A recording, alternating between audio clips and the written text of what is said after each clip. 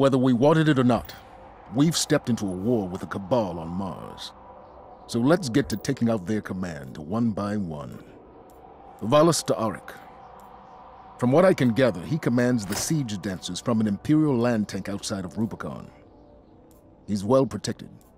But with the right team, we can punch through those defenses, take this beast out, and break their grip on Freehold.